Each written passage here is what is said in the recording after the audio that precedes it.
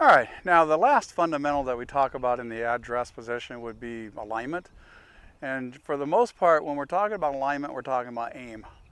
Now, the one thing that we want to appreciate about the process of aim is that the only thing we want pointed at the target is going to be the club face. Now, to put that in context, I've laid a couple of uh, alignment rods down on the floor. And as I build my address position, as I set the club in behind the ball, this outside alignment rod is the target line.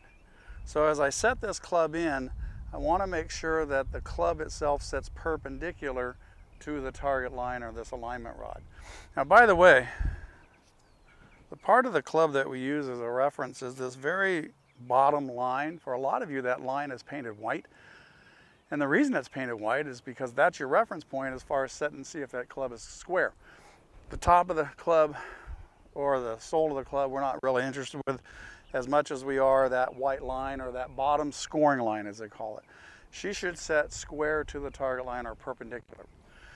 Now in regards to me, me being my feet, my knees, my hips, and my shoulders, they should be basically parallel to the target line. So you can see as I take my address position here, as I take the club back and I bring it through, it's very easy for me to keep the ball moving towards the target by means of that.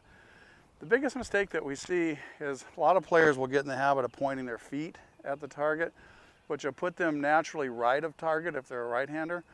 And the problem with that is now they have to kind of find some way to get back to target line, so they'll usually come over the top to get to that. So it's a very common problem we see as instructors. Players that pull or hit cuts because of an over-the-top move, a lot of times it's due just to poor alignment. So the idea here is as I take my address position, I want to visualize two lines. The target line and then the line that I'm going to be standing on. Target line is what the club sets on, and that should be square. I'm going to be standing parallel to this.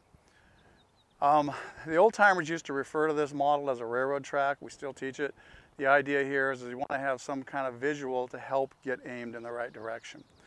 Now, a lot of may prefer, again, to throw a curve at it in the sense that I'm going to set up with my stance open. A lot of us do for short game or closed.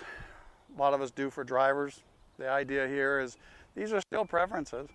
Um, what I do with my feet is not near as important as what I do with my shoulders. So keep that in mind. I can put my feet wherever I want to, but as long as my shoulders are square to the target line, I can keep the club moving down the target line towards the target. So as you practice, this is one of those things that takes a little patience as your eyes develop. Habit of laying these alignment rods down on the floor, or you can use a, it's up to you.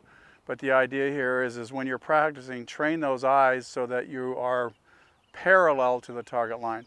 Now on that last note, I do want to give you a tip a friend of mine gave me years ago, and was Tim Ross. And he told me that for being a right-hander, for every 10 yards of distance, you should feel like you're aimed about one yard left. And I found that to be a pretty good formula. So to put that in context, if I have a 100 yard shot, then as I take my address position, I should feel like the club is pointed dead at the target but I am 10 yards left of target, one on 10.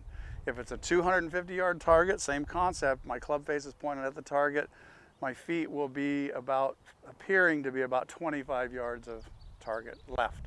And again, for a right-hander, it would be left, for a left-hander, the opposite.